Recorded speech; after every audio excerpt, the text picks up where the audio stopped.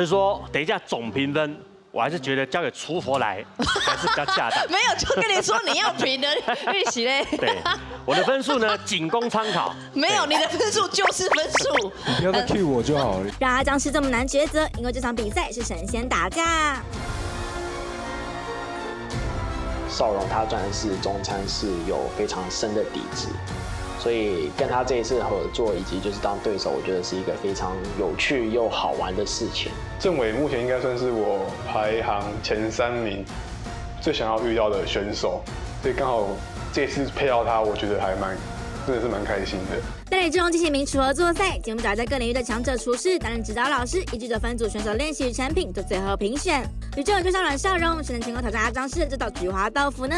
切的时候呢，速度要快，下刀的时候大概在豆腐的半再多一点点，要切深比较好，还是切薄？也不能太浅，也不能太太深，很轻松的。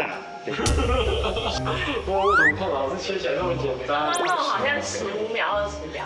是师傅啊，是师傅，别闹。你们可以，你们是十二强。哎，感谢制作单位的栽培，那我也会进入十二强。对，谢谢大家。现在政委要开始进行他菊花豆腐的部分喽。请问一下，两位的高汤里头的内容是什么？暂停，他现在时不他现在。不会理你的，他现在石化了。呃，政委，这这个时候你是怎么样去克服这一点？因为这个是刀子的先天优势。他可能要等到豆腐切完才有办法回答对他，他们俩现在都被封印了。因为切豆腐真的是没有办法回答面的。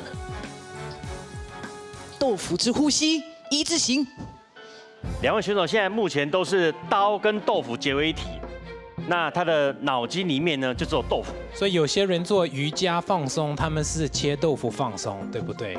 他们，他你觉得他们切豆腐有在放松吗？他们根本不想理我们。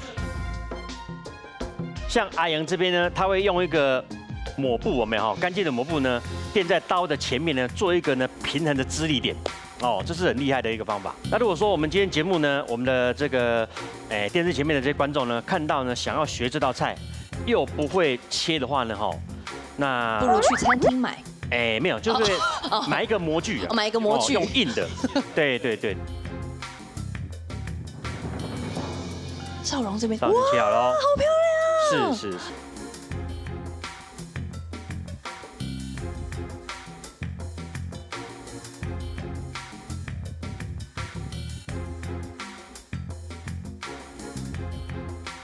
两位都已经完成了，因为我刚刚在看少荣偷了一个很大的亏。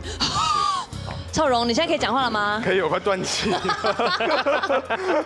他刚刚是马步扎着，然后一个呼吸都没有，然后开始切。其实我刚刚比完，我觉得我对我两位选手很不好意思，我两个小、小朋友很不好意思。但是我看了之后，我觉得，哎、他们还好、他们至少还可以聊天呢。对，之前在试的时候，完整度是谁比较占优势啊？诶，出波，别人讲两位都不错。等一下呢，愿透露。我觉得这个评分的话，没有，我想由厨佛来决定最后哪一位可以晋级好了。那是没有办法的。阿张师想踢皮球是吧？你的部分就你就要自己解决。呃，我现在是做就是下味的，就是蒜虾炒饭。那因为毕竟，呃，中餐的料理的，就是五千年的历史，我是真的不太懂，所以我就做一个，就是我就是平常就是家人会带我去吃，我也比较喜欢的一个蒜虾炒饭。对。虾头为什么不拿起来？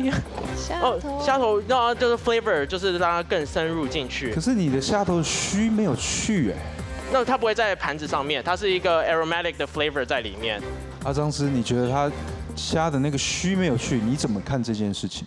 所以说，等一下总评分，我还是觉得交给厨佛来 还是比较恰当。没有，就跟你说你要评的预习嘞。对，我的分数呢仅供参考。没有，你的分数就是分数，他们的分数才是参考。宫北纯佳丽，菊花豆腐配上炒饭，光看就想吃，到底阿张是怎么选？他们两个的炒饭跟我们的菊花豆腐都非常的棒哦，所以说我要怎么去选他们出来，这是我最大的困难点。